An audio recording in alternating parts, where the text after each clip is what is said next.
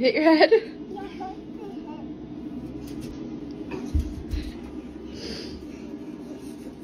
Look! Mary, Mary Betsy.